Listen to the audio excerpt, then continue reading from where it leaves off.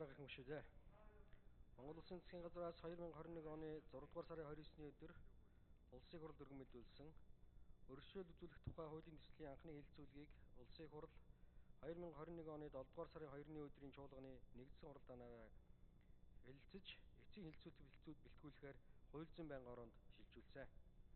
Улсын хурлын чуулганы нэгдсэн хуралдаанаар хуулийн төслийн анхны хэлэлцүүлгийг явуулах үед хуралдаан даргалагчаас өгсөн хүүцэн боловсруулах чиглэлийн дагуу Монгол Улсын их хурлын чуулганы хуралдааны дэгийн тухай хуулийн 42 дугаар зүйлийн 42-ийн 2-ын 1 дахь заалт.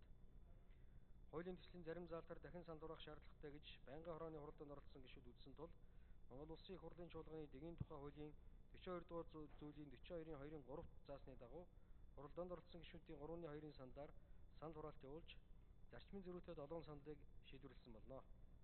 Нэгдсэн хуралдааны анхны хэлэлцүүлгээр олонхын дэмжлэг авсан саналуудыг төсөлтөнд тусган төслийн агуулга, бодлого, зарчмыг алдагдуулахгүйгээр үг хэллэг, дэс дараалал, бүтцийн шинжтэй засварыг хийж эцсийн хэлэлцүүлэгт бэлтгэсэн төсөл байнгын хорооны танилцуулга болон зарчмын зөрүүтэй саналын томьёолыг та бүхэнд тараасан болно.